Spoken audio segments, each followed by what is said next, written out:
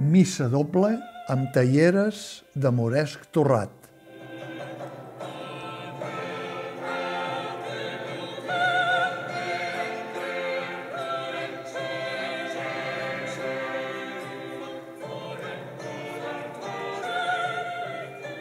A la companyia Agrupació Senyor Serrano els agrada experimentar sempre nous camps,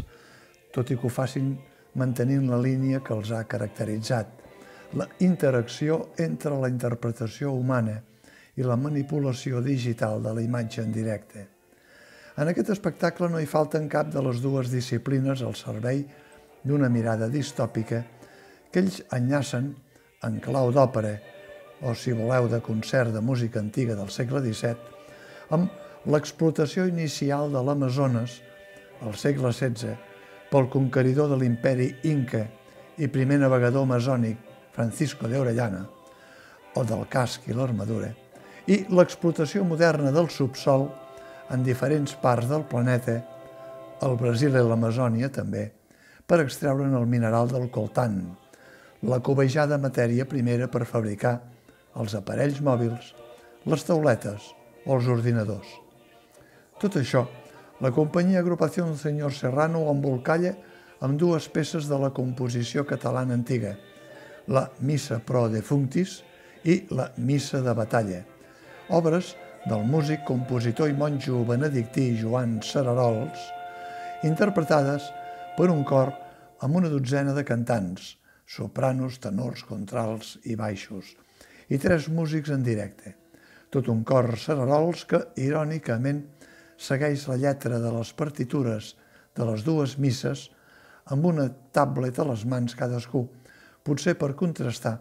amb la denúncia que s'hi fa de l'esmentada explotació del coltant. A banda d'una excel·lent interpretació musical de tot el cor Cerarols, que ja va captivar els espectadors quan es va estrenar el 2022 al Teatre de l'Abadia, en coproducció amb el Teatre Real i després a Torroella de Montgrí, el muntatge compta amb una escenificació física que protagonitzen el polifacètic actor Marcel Borràs, encara enrolat amb el seu últim espectacle amb Nau Albet, i un dels intèrprets de la sèrie Això no és Suècia, d'Aina Clotet, i l'actriu directora audiovisual i performer reusenca Carlota Grau Baigés. Dues interpretacions sense paraules, però que s'expliquen amb l'acció, el gest i el moviment coreogràfic. Des de la taula forense que busca en el fons de l'ànime ni més ni menys que una freixura de coltant, fins a l'home globus que s'infla i s'infla sense arribar a explotar, i la repartidora de globo que porta la comanda de patates fregides envasades. L'espectacle es divideix en dues parts, una hora i mitja en conjunt, una part per a cadascuna de les misses de Cerarols. La primera escrita arran de la pesta de Barcelona i la segona per rememorar la victòria del regne de Nàpols. I compta des del primer moment amb les imatges de vídeo en directe i els primers plans, la manipulació en miniatura que es fa gegantina a la pantalla de projecció i els efectes visuals elaborats amb la tècnica digital, però sempre amb la matèria primera dels dits, les plantes salvàtiques amb monsteres delicioses, com si fossin ombres xineses, la sorra o, per reblar el clau del surrealisme, el moresc torrat, i qui sap si beneït i tot en aquest cas,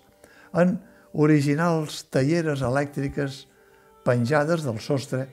que fan esclatar els grans de moresc en una mena de pirotècnia light com a esclat final de celebració. Només tres úniques funcions, però suficients per continuar mantenint el llistó alt de les sempre singulars propostes de l'agrupació Senyor Serrano, sovint